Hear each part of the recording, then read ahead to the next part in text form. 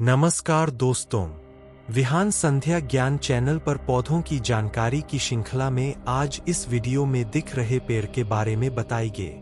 इस पेड़ का वनस्पतिक नाम सिन्नमोमम है, जिसकी लगभग 250 प्रजातियाँ विश्व के कई देशों में पाई जाती है, और अलग अलग प्रजाति के गुण धर्म अलग अलग होते हैं। इसकी एक प्रजाति है सिनेमोमम तमला जो कि भारत, बांग्लादेश, नेपाल, भूटान और चीन में पाया जाता है। इसको इंग्लिश में इंडियन बे लीफ या मलाबार लीफ से जाना जाता है। हिंदी में इसे तेजपट्टा कहते हैं और अन्य भारतीय भाषाओं में अलग अलग नामों से जाना जाता है।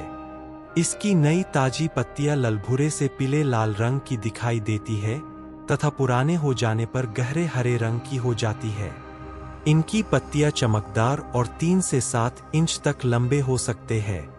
इसके पेड़ 20 मीटर तक हाइट के हो सकते हैं।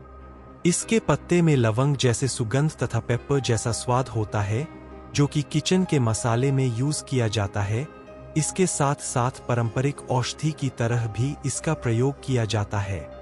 इसकी एक दूसरी प्रजाति है, जिसको सिनेमोमम या सीलोन सिनेमोमम कहते हैं।